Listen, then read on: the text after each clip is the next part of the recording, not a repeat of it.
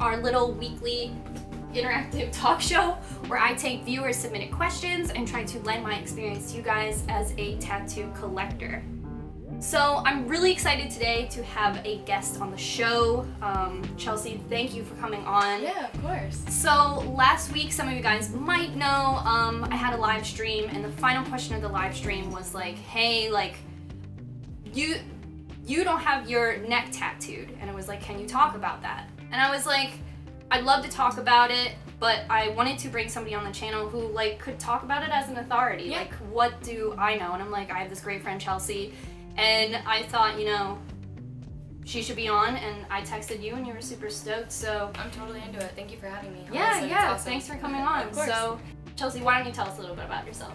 Yeah, so, um, well, my name's Chelsea again. I've lived in Philadelphia now for about three and a half years. Um, I've been getting tattooed probably for almost a decade, and I'm 25, so I got my first illegal tattoo at the age of 15. Uh, I got some of my biggest tattoos in the city actually, like my hands, my throat, my face. Um, all the big stuff was done in Philadelphia. There's just so many like beautiful, talented artists here Mhm. that like I feel like when I moved here, there was just so much opportunity to get such beautiful work that Yeah. I just kind of went for it. And Definitely, it's one of the like best parts of living in the city that It you don't is. have to go far for something that you really like. and there's just so many different shops and like so many different great artists that you can find any like style of tattooing that you want and somebody who's great at it. So It's great. So, I think you know when I when I first met you, I met you through Instagram, Mhm. and I actually met you because you like won a contest with the same person who did my cosmetic tattoos. If you guys are familiar. So we both had cosmetic tattooing done by the same artist, and it introduced me to your account. You know, I went through, and you definitely have like a striking presence. Like I Thank was scrolling through, I didn't even know you, and I was like, "What's this girl's story?" I think that you know the way you present yourself. I feel like a lot of people are watching and they're trying to take you in. What does that feel like? Do you do you definitely feel that as well? Like I think visually people are like, "What's this girl's story?" I don't. I feel like you can't you can't hide.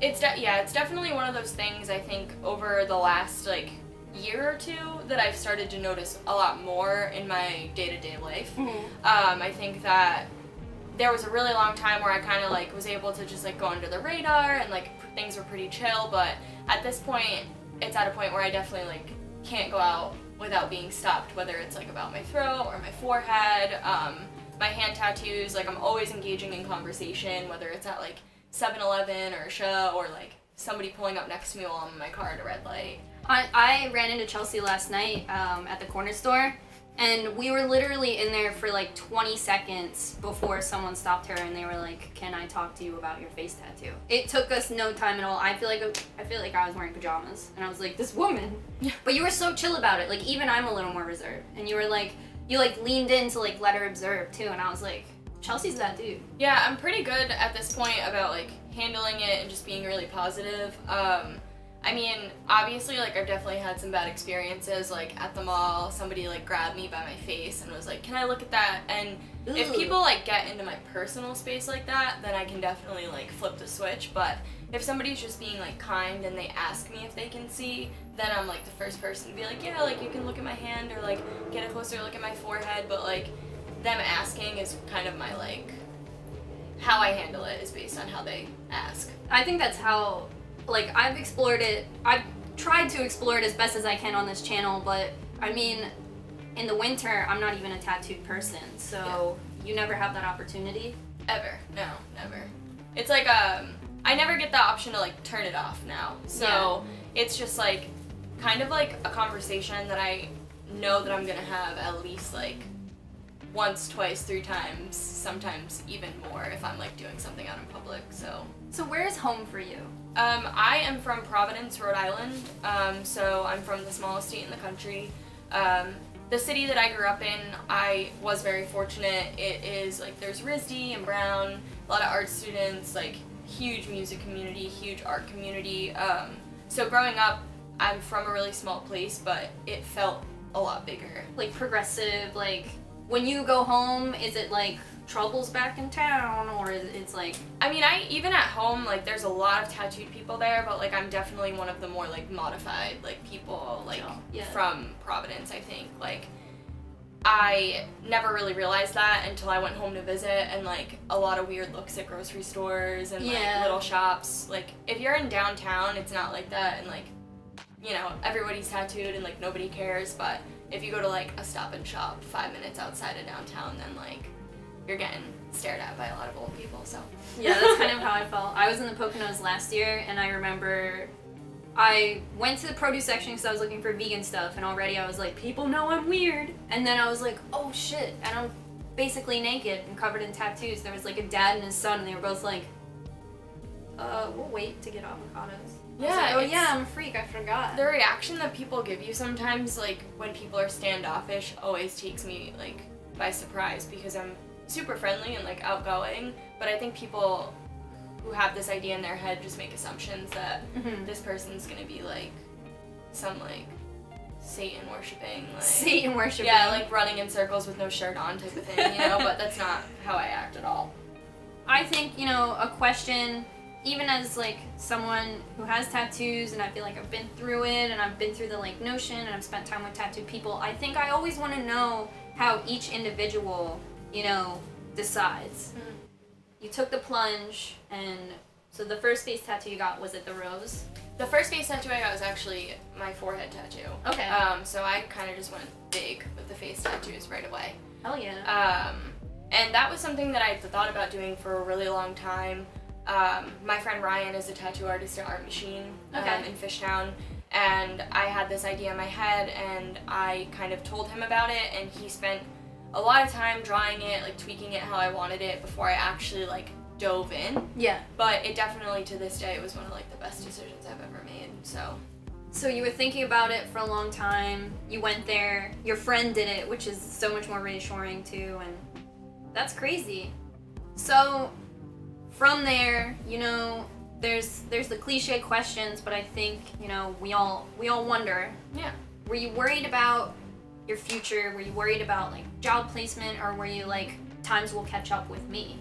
Um, I have to say, definitely, like, I had already had, like, my hand and my throat tattooed before I tattooed my face, so I already had things that were, like, out there. Mm-hmm. But when it comes to your face, like, it's like a whole new ball game.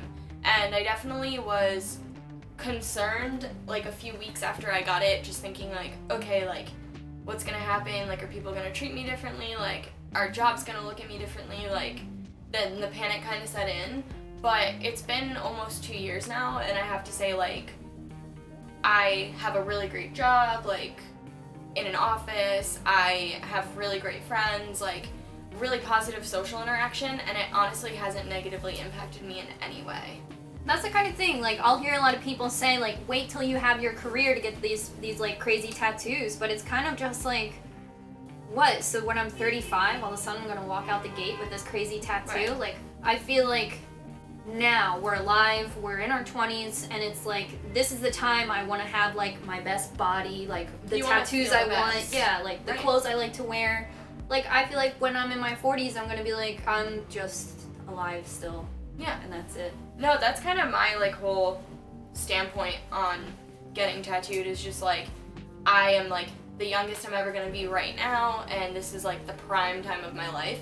And I was just like, okay, like I'm gonna like make these decisions and just do what I want to do. And I've definitely gotten some backlash. Like if I ever get into like an argument with someone that I don't really know, usually their first like argument is Oh. like, oh well, like what possibly could you be doing with your life? You have face tattoos, and I'm like, actually, I'm doing a lot of really great things with my life, and I have a lot of really great hobbies and like a really great job, and I'm happy. So it's not like what people think it is. And I mean, that's always just like some filthy thing too. I mean, I feel like I had an ex and I like would fight with my mom when I was younger, and I feel like he would be like, "Well, your mom," and I'd be like, "Oh, come on, Like, the thing, ew, like come on, like that, the fucking thing." Yeah. we all fight with our mom when we're teenagers. It's we That's you life. have to do it. Yeah. Ugh. People are just. the worst, the thing. Don't bring up the thing. So, And that's how I feel too. I mean, I definitely found myself in a career lane that like celebrates like personal expression and stuff, but honestly, those are the only jobs I want. So even if I am tattooed and maybe you feel the same way, I am just that's the track I want to be on anyway. But I mean, you have a cool office job. That's super dope. Yeah. it's not like my career, but like it's a good job and it's a good place. And for what I am like going to school for, I just recently went back to school. Um, it doesn't really matter what I look like. And my thing is, is like I don't want to be in a line of work or have a career that would limit me from being myself, anyways. Because I believe that people should have that opportunity in life to just like be who they want and anything that doesn't accept that for me is not something I want to be involved in. Yeah, imagine the people out there who don't have the tattoos they want. Right. And they just have a, a job they like instead. I don't know. I, I don't know which one I'd rather want. There's a lot of people who do that, but it's just like for me, like my personal path, like I you came first. Yeah, yes. it was me first before any of that. And I think self-expression is something that some people are willing to wait on, and then what? How long do you wait? Right.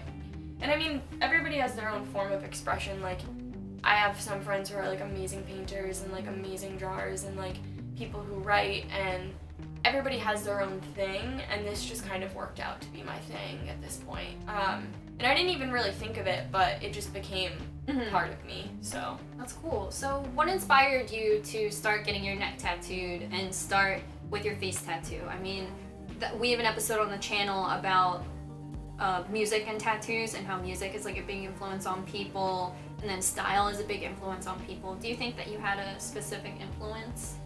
Um, I think that growing up, like as a kid, um, I, you know, was like a little bit like chubbier. I was like a little chubby scene kid and like, you know, I definitely went through the whole like works of like being like bullied and like made fun of and stuff like that as a child. Um, and a big reason that I started getting like tattooed the way that I am was because I felt like it was something for me that like made me feel beautiful and made me feel good that like I was like completely in control of. Yes. Which was honestly the biggest reason I started doing it. Um, I mean, style wise, like in the sense of like, I like things to be in certain places and look a certain way just mm-hmm. based on like they're forever. Um, but it was mainly just because like with that history, like it was something in my life that like made me feel really empowered and like really good. So I think that tattooing and like body positivity have such like strong connections to each other. It's cool that like that's where it came from and that's where it is. And I don't know. I, I'm so afraid that people are like tattoos. They're, they're ugly. They you've marred your body. But there's a whole side of us who celebrate it and we're like, right. no, I look pretty fresh. Exactly. I think that people find beauty in their own ways and you know, I've definitely met people who are like, "Oh, you're such a beautiful girl. Like, why would you do that to yourself?" And I'm like, oh. "Well, like, I'm a beautiful person either way, and I'm sure there are things about yourself that like other people might not necessarily like, but you still find beautiful. So like your fur jacket. Yeah, like it right. It just like is one of those things where I think that like you just have to realize like okay, like this is who I am and like this is what I want to be and this is what I'm gonna do. And if anybody has anything negative to say, like it's okay. Just mm-hmm. like let it roll.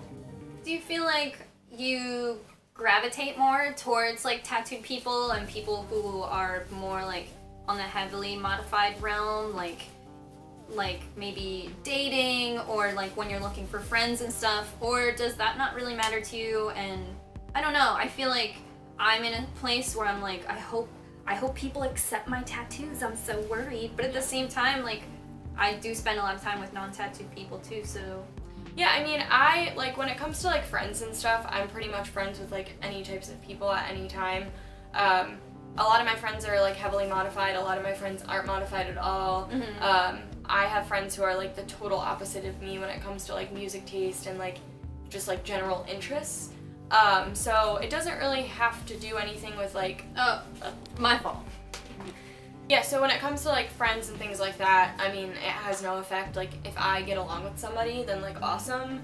Um, but when like dating wise, actually, the craziest thing was that I had never really dated anybody that was like heavily tattooed or like heavily modified until um, I met my partner, like Sasha, who I've been with for four and a half years. Yeah.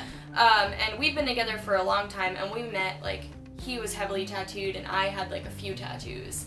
Um, and now like we both have like our faces tattooed and like we're both kind of on like the same wavelength. Um, but dating wise, like he was the first person that I had ever dated that like Yeah. looked that way. Before that, it was a lot of like tall, blonde, like Oh. very normal looking Mm-hmm. like people. Um, and I mean, I briefly dated people, you know, this like summer who like have tattoos and like different interests like that. But for the most part, like it wasn't really a thing, and it's not something I like look for. And people didn't like put you in a weird light. People weren't like, oh, look at this chick. I mean, people definitely like. I feel like the issue with me with dating is that people definitely sometimes treat me like a trophy prize, Oh. which is like really really hard. Um, that this was is my hot mod girl. Right, and that was like the one thing that I had to adjust to as well. Um, was like being in the dating world again and like being like this way and having a lot of people just like the first thing like even on like Tinder and stuff like just people being like Oh god oh like I love your face tattoo like oh I love your throat tattoo like what does it mean like tell me more like and it's hard when people start treating you like you're like a It's that prize rather thing, than like a yeah. person like they're like oh this like heavily tattooed girl and you're just like ugh man like I have This a name, tattooed John is in my interests. DMs, yeah yeah. you're like I have like interests and stuff like that aren't about this at all like Yeah, I feel like when I became single, one of the like striking thoughts was I was like, fuck, how am I gonna explain all this shit? And then Yeah. it like didn't and then it didn't matter. It's just kind of one of those like late night thoughts. right Do you ever like find yourself like thinking too hard about it? Oh yeah, definitely. I mean, that's like a biggest a big issue for me is like I don't really settle down or commit to anybody because I feel like something always comes up at some point where they're like, oh like. I like I was dating someone and his nickname for me was Head Tat. Oh no! Like him and his like group of friends, like literally his nickname for me was Head Tat. Like you saw that's what he was. And I were was just like, wait a minute, like I'm like a human being with a name. Um, I'm not like just a head Yikes, tattoo. dude. Like, come on, like, and like things like that make you realize like how people view you from like a like their perspective when they don't understand like why you do what you do. I guess that could be a good thing because then you could be like, oh yeah, by the way, I don't want to talk to you anymore. Yeah. So, uh, Chelsea and I are both vegan. Do you feel like you may ever put yourself in a box? Because I, sometimes I do, and it's like you find yourself very niche. Like even when like I had facial piercings and stuff and red hair, I was like, okay, this, this, this, and also I'm vegan. Like, do you feel like you're putting yourself in a box, or is it like, eh, face tattoos and whatever, but here I am? Um, not necessarily. I mean, I've been vegan for like half a decade, so Mhm. like for me, um, it's it kind of just like became part of my identity, and a lot of people get really like confused by that, and it just like I try to explain like when you do something for that long and it's like such a big part of your life, like it becomes part of who you are. Um, so when it comes to like the veganism and being heavily tattooed, I think years ago, like five years ago when I first started being vegan, it definitely would have boxed me in more. Mhm. But there's just so many like heavily modified like vegan people now who like are very open about it and like very out there that I think that it's not as closed off as it once was. I definitely agree with what you said 100%. I feel like, yeah, five or six years ago, I was like, well, time to be a freak outside again. And now I'm just like, oh, cool, like, at least I'm breaking grounds for something, but it's not that weird anymore. Right. Exactly. Definitely.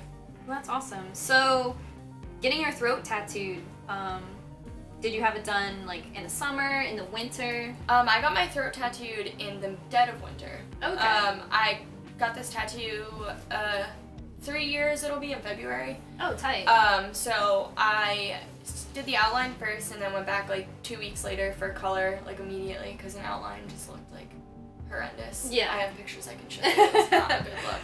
Um, but yeah, so I got it tattooed in the dead of winter. Um, I didn't have a car in the city yet, so I was like riding my bike to work, riding my bike everywhere.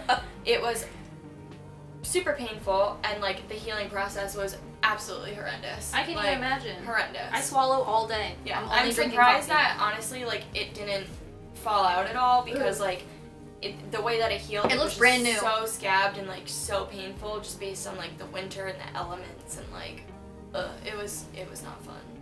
So same with your throat tattoo. Like you knew you were making this huge commitment. There's not much you can do about your throat tattoo as in terms of like concealing it, your mom, you can't hide it from your mom anymore. Oh yeah, they. She was not. She lost it, but then now she's very accepting. Oh yeah, one, we were in the car once, and you were like, "My mom wants me to send her this selfie I took." Yeah, and I was like, "Go ahead, mom." she like is and in the beginning she was really like weird about it and then now like she got her first tattoo like long after I started getting tattooed and now she like loves it and she always calls me about like tattoo ideas and like she like always is like showing me off on her Facebook to her friends and she's like look at my daughter like she doesn't care what anybody thinks like you know and she's just like Go so ahead, proud and Yeah. so excited so I got really lucky but in the beginning like I remember her and my grandparents were like really upset and like super disappointed and like it took a lot of time for them to become like accepting of like this is who she is and like Mhm. this is not gonna change.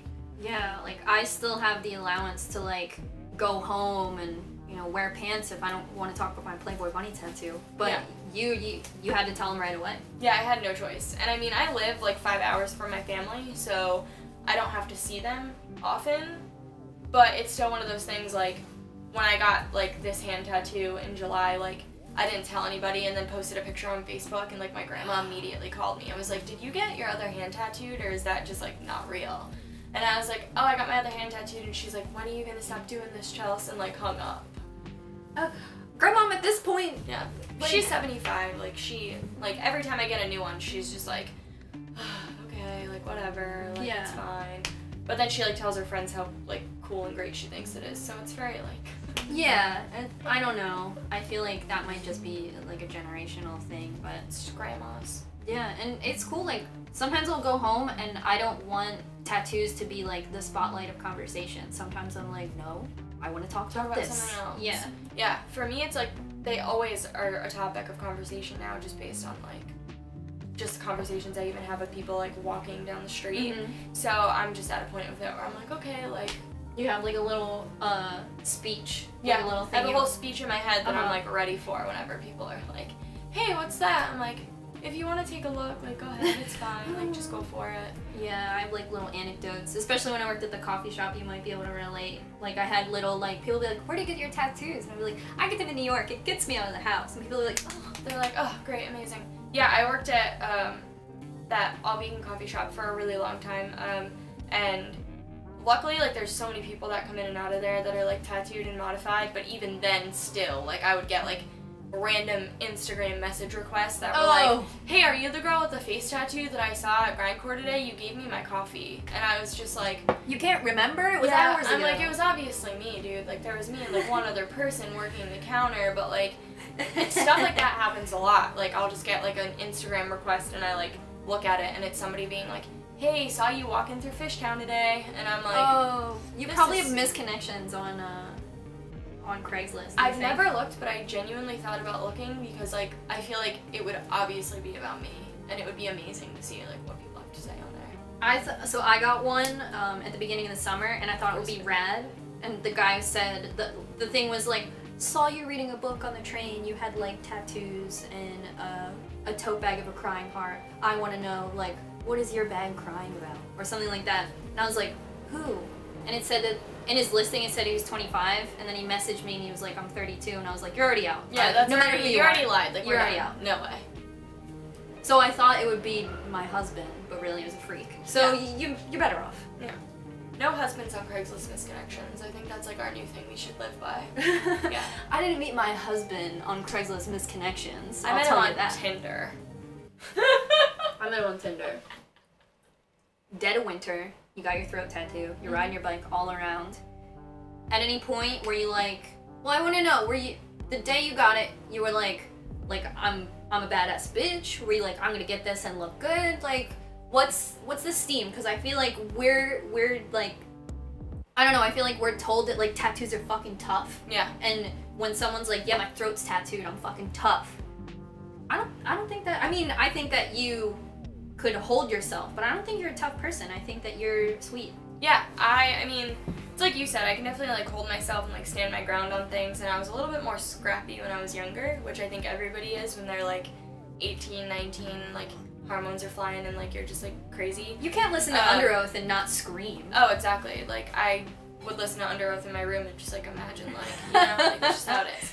But um, I think now like yeah I am one of those people. I am like genuinely like really nice and like kind and like pretty soft spoken. Um, and like will literally give anyone the shirt off my back type of thing. So when people associate it with like being tough and then like they meet me, a big thing people say when they like meet me for the first time in person is like, "Oh, like your personality, like you're so like nice." And like it's always the word nice.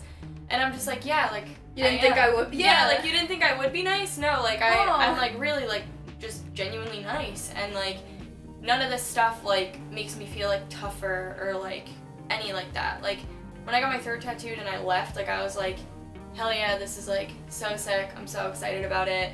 But also was like whining because it was like the winter and I biked home with like this wrap around my neck and I remember like hurts. stiff yeah, neck even. like Ugh. hitting bumps in South Philly like. But yeah, I mean, it's one of those things that's never like made me feel like I'm like tough or like a badass or like anything like that. Like it's always just been more like, okay, like I'm still really sweet. Like, and for the most part, they're pretty like feminine on me, so I try to like.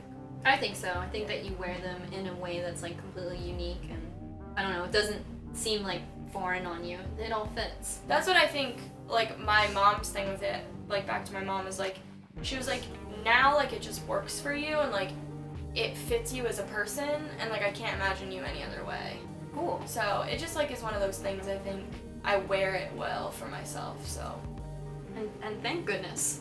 right, imagine imagine if I did all this for the rest of my life. Like I'm probably not gonna wear it well when I'm 70. Like I'm fully prepared to have like some big black blob on my forehead um, by the time I'm like 80 years old. But I just know for a fact gonna that we're both going to be wearing cat sweaters, so like oh yeah, the fashion expectations already so low. oh yeah, I want to like embroider like a sweater with all of the cats on it and just wear that for the rest of my life. So if you guys see me around in a cat sweater, like it's gonna be my actual cats on there. So Quasi fashion icons at 70, breaking all the rules. yes, that's what we're gonna do. It's gonna happen. Have you ever like had a thought like, oh, I'll just get bangs? Oh yeah, I actually like wear side bangs a lot. Um, well, I had like side bangs for my whole scene phase, and I am still pretty much a scene kid anyway. um, but I recently started growing out my bangs like a few months ago. Um, but with my side bangs, you can only really see like a little.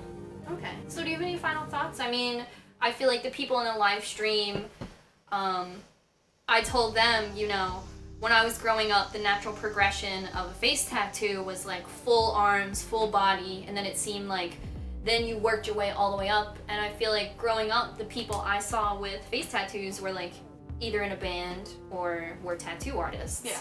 Now I feel like I see a lot of people with like neck tattoos, face tattoos, like baristas, um, like nannies, stuff like that. A lot of things that kind of break that idea I had growing up that like you were Dave Navarro or you were a tattoo artist Yeah. and there's no or in like between. Travis Barker. Like that's it. Oh, sir. so Um, you're breaking that mold and I feel like it's pretty cool. Like, how do you feel about that? Um, yeah, I definitely like think that like with time, I mean there's still plenty of places across the whole country like where having like face tattoos and like hand tattoos and throat tattoos like it's gonna be impossible to get a job. It's gonna be like impossible to do things. Um, and I get why a lot of people don't do it and like are held back by like their surroundings. Um, but I guess like the one big thing that I can say to people is that like I personally like you do things because you love them and like you want to love yourself more and that's why I do these things um, because like they helped me like learn how to love myself as a person um, and I think even when it comes to like jobs and like my future it is something that I worry about sometimes but It's at the people end, with no tattoos worry about it. right like at the end of the day like it's always gonna work out even if it takes some struggling and like that's just how I feel is like you know there might be points in my life where I have to struggle because of these decisions but it's worth it because like my self-love is so high at this point that like You never stop being yourself. exactly exactly That's heavy hitting. it's just one of those things like always make sure that you love yourself as much as you can and if you don't and you want to like if you live in the middle of nowhere and you want to get a face tattoo and like you think that like you know you might have trouble getting jobs or like you might have trouble like with your family like just remember that like you're making the decision for you and if it's gonna make you love yourself more then like at the end of the day that's like number one priority is you I think that's really true. I mean, uh, self love has been a lifetime long journey for me. Same. But this, it's recent So, yeah. The yeah. day like I became on my side, I feel like things became easier and like everything is still hard and I had a hard summer and all that stuff. But like Yeah. when you support yourself and when you believe in yourself, no matter what it takes, you know, if it means, you know, getting some tattoos, if it means like having a certain hairstyle, when you believe in yourself, I feel like things around you are easier. Not Right. like they might technically not That be, be but I always know that like I'll get through it. Right, and that's how I feel too. Is like, I mean, I went through like, you know, like a pretty bad breakup, and like I was like in the dating like world again, and like just kind of doing all that stuff, and then like I finally like took a step back and like realized like, okay, like what steps can I take to like love myself more so that I'm more comfortable being like alone and being me.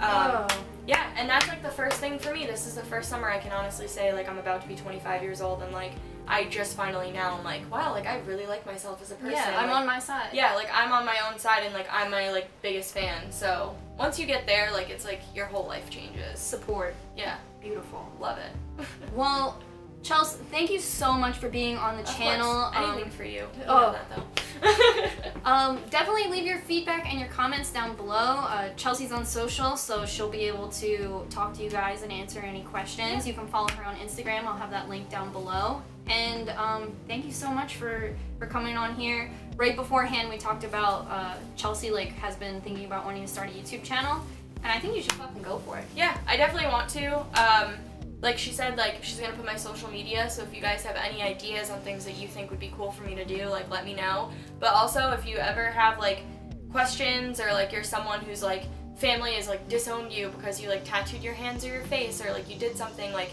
please feel free to reach out to me at any time um, i'm always willing to have these conversations like outside of like youtube instagram twitter like i'm always willing to talk so I feel like a million bucks know. right now. yeah You remember the episode True Life where the guy gets all of his tattoos removed for his wife? yeah I think about that all the fucking oh time. it's terrible He should be sitting on this bed with yeah us. he should be with us right in the middle so we can let him You know alright, guy? like come on man All right, well, thank you guys so much for tuning in to Bye, Tattoo Talk. Tuesday. Give this video a thumbs up if you were into it. Check out Chelsea's social down below. And if it's your first time here, I make videos like this every Tuesday.